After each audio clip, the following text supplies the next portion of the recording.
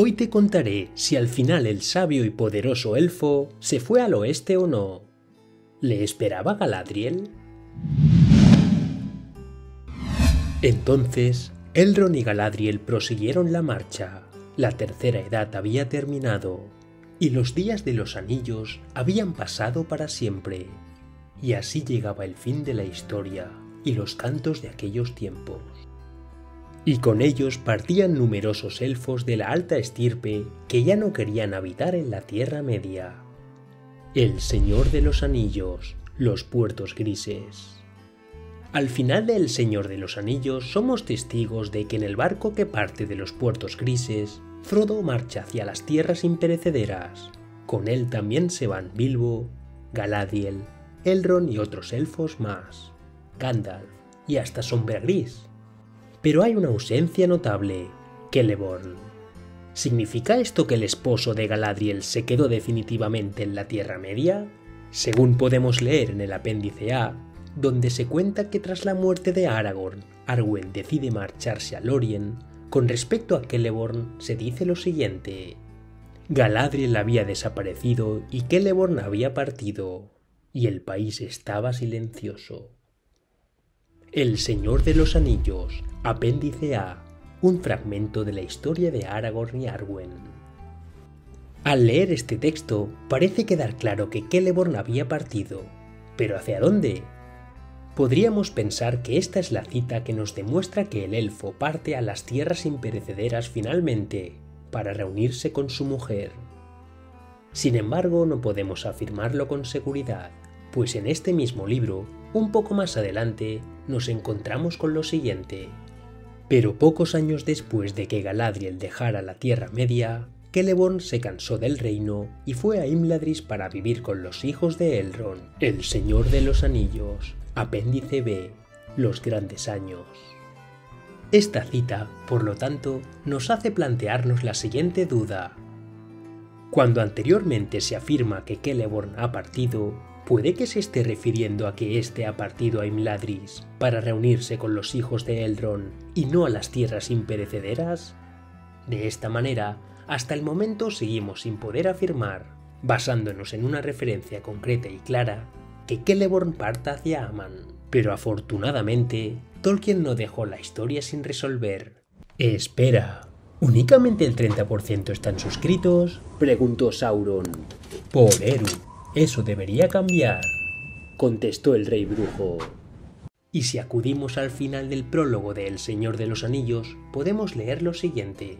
Es posible que Meriadoc haya obtenido información de Rivendell, que visitó muchas veces. Los hijos de Elrond, aunque él ya había muerto, permanecieron allí muchos años junto con algunos altos elfos. Se dice que Celeborn fue a vivir allí luego de la muerte de Galadriel, pero no hay ninguna noticia sobre el día que partió al fin hacia los puertos grises, y con él desapareció el último testigo de los días antiguos en la Tierra Media. El Señor de los Anillos nota sobre los archivos de la comarca. Por lo tanto, con esto queda aclarada la duda, pues aunque no sabemos la fecha exacta, sí sabemos, tal como nos dijo Tolkien, que Celeborn partió finalmente al oeste, donde desde hacía ya algún tiempo le esperaba Galadriel. Pero aún sabiendo que finalmente partió hacia el oeste, no podemos evitar preguntarnos por qué no lo hizo en el mismo barco que Galadriel. ¿Por qué decidió quedarse en la Tierra Media durante un tiempo más? Se sugiere que si él era ciertamente un elfo Sindarin, su corazón estaría más ligado a la Tierra Media que a las tierras imperecederas. El dejar las tierras de Akende había sido para Celeborn una decisión realmente dolorosa de tomar, pero tanto amaba la Tierra Media que prefirió que Galadriel partiese sola. Hay dos citas que casi pasan desapercibidas, una en la historia del Señor de los Anillos y otra en el capítulo numerosas separaciones del Señor de los Anillos. La primera es una observación que hace Elanor, hija de Samsagath, después de leer un fragmento del libro rojo. Al principio no entendí qué quería decir Celeborn cuando se despidió del rey, dijo, pero creo que ahora sí. Él sabía que la dama Arwen se quedaría, pero que Galadriel lo abandonaría. Creo que fue muy triste para él. El fin de la tercera edad. Epílogo. Este comentario de Lanor se refiere a la frase con la que Celeborn se despidió de Aragorn. Pero Celeborn le dijo, Hermano, adiós. Ojalá tu destino sea distinto del mío, y tu tesoro te acompañe hasta el fin. El Señor de los Anillos. Numerosas separaciones.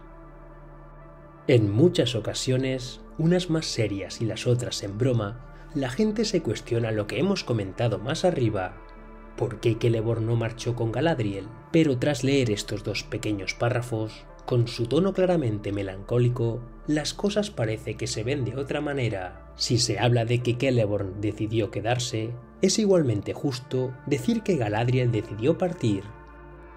De hecho, no se dice en ningún sitio que Galadriel sintiese la misma tristeza por separarse de Celeborn que la que sintió él por separarse de ella.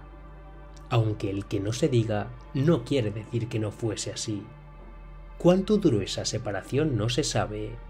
No debió ser más que el equivalente a un suspiro para dos seres inmortales, pero seguramente no fue fácil. Y si te ha gustado el vídeo, te recomiendo este.